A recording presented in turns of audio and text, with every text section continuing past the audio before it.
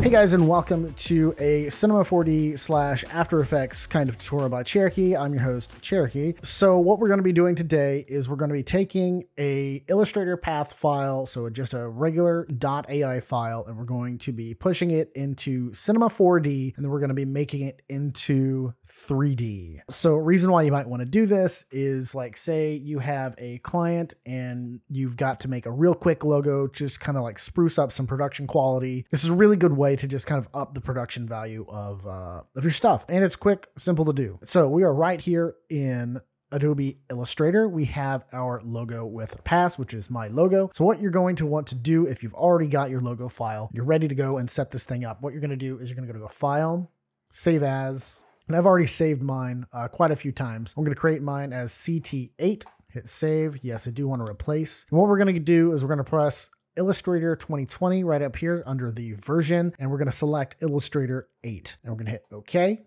and hit OK again. So after that saves, we're going to jump over into Cinema 4D or any other 3D program that you might have. This works very similar so if you've got 3ds Max, if you've got Cinema, it really doesn't matter. It's more than likely going to work. Uh, I've used this in 3ds Max. I've used this in Maya. I've used this in Blender. It's all very similar. This is for Cinema 4D specific. So if you go to File, what you're going to do is you're going to go down here to Merge.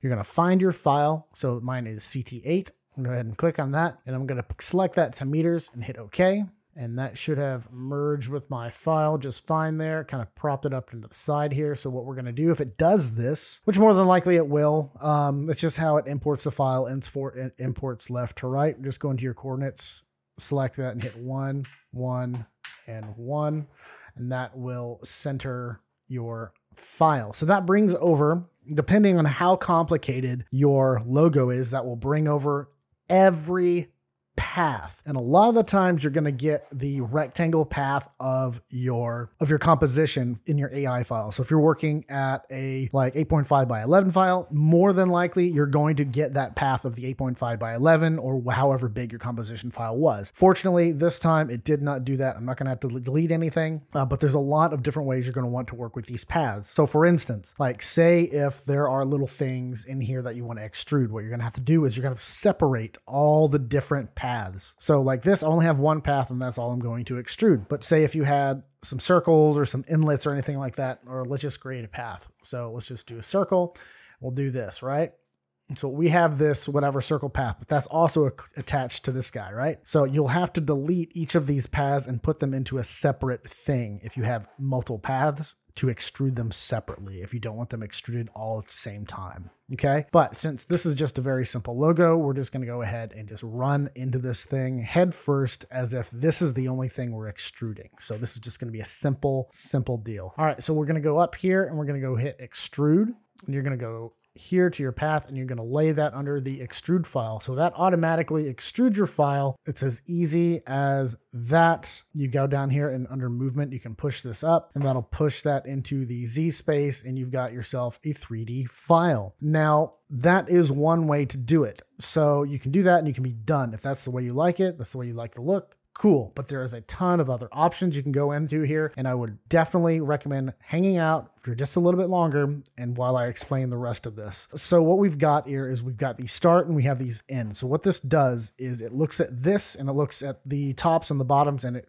creates how your extrusion is going to look. So right now I have it set to cap. So that is the default. That is straight cap, straight cap, straight cap, nothing. All edge, no all edge and face. So there's no beveling. Okay. So if you're wanting to get that really cool, crisp look, this is it. But if you're wanting that really nice edged look, like something normally extruded in the, in the 3D world. Nothing's perfectly, you know, straightened out like this. Whenever you're looking at a logo, you want to have a little bit of reflection off some edges. So if you're going to want that little look, what you're going to want to do is you're going to select this little cap under start and hit fillet cap. And what that does is it starts beveling these edges out just a little bit. Okay. And then under steps, you can push this up and it'll make that a little bit more round. That way that light catches this little edge a little bit better. Okay. And then I'm going to do the same thing on the other side here. Fillet cap. And I'm going to do six and five.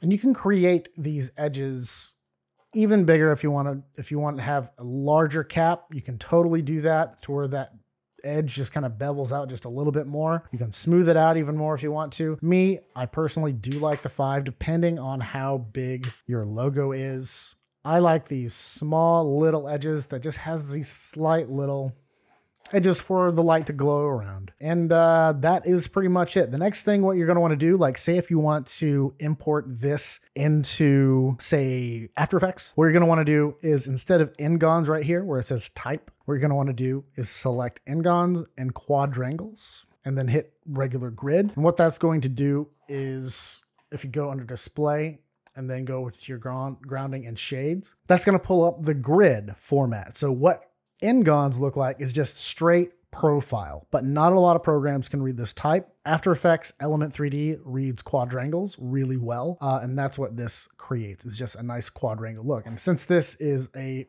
a quad already itself, you don't see anything on the sides because they are already in quads. So if you want to finish that off, you can. Uh, under my quads, I want to have this just a little bit less because we don't need to have that many quadrangles. We're not going to extrude anything all that much. So I'm just going to go ahead and make these pretty big because I'm no I'm not going to use it all that much and I know I'm not going to extrude anything. And after that, what you're going to want to do to get this into After Effects or to any other 3D program, if you want to export this, what you'll do is select your path here, select extrude, right click, you're going to go current state to object.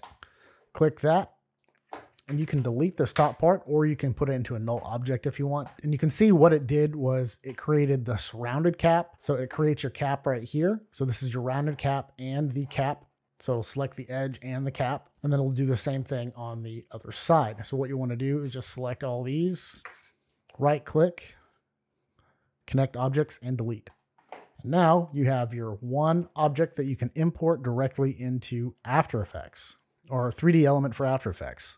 So the next thing I'm going to do is go to create new material. And that's really all I need. I just need to put one material on this guy. I just want to be safe. Usually it'll import over just fine, but I want to be safe and put a material on this. That way it knows that all of this is going to be one material rather than a whole bunch. Next, I'm going to go to file, export, wavefront OBJ, and I'm going to do CT logo, save. Yes, I will overwrite since I already did this once and hit okay and that is going to export out into After Effects. And let's go ahead and jump on into After Effects.